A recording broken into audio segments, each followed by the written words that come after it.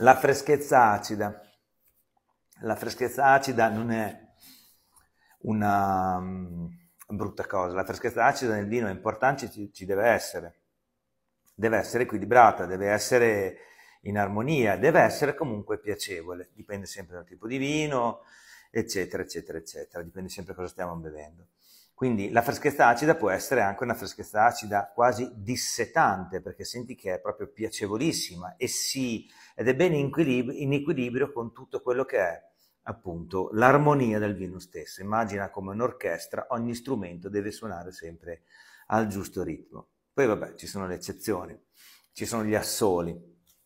Quindi quando si parla di freschezza acida, prova a immaginare, esempio se vuoi anche banale, ma comunque molto chiaro prendi un bicchiere d'acqua, spremi un mezzo limone, bevi, quella sensazione che hai è la freschezza acida. Come la riconosci? Perché abbiamo anche una sapidità.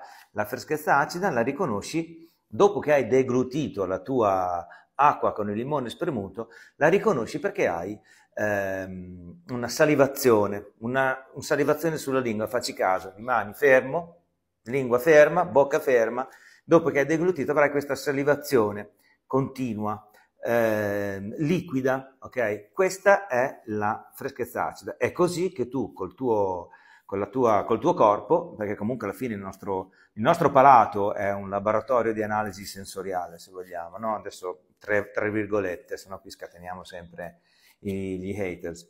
Però tu riconosci così la freschezza acida al palato, come la sapidità, il sale, lo riconosci perché al di là delle sensazioni che può essere sapida, salina, può avere queste sensazioni anche di puntura sul finale, insomma dopo dipende un po' anche lì dal vino, però hai una salivazione molto più, più, eh, più solida, più raggrum,ata noterai la, una salivazione più raggumata nel, in certe zone della lingua, ai lati, ok? Il problema è quando devi riconoscere freschezza acida, ok? Magari importante e allo stesso tempo una sapidità allo stesso tempo importante, o addirittura una sapidità quasi salina. Quindi noterai che avrai queste due sensazioni sulla, che, si, che si muovono sulla tua lingua così, con una salivazione un po' più sciolta e una salivazione invece più, più solida, più raggrumata. Spero di essere stato chiaro.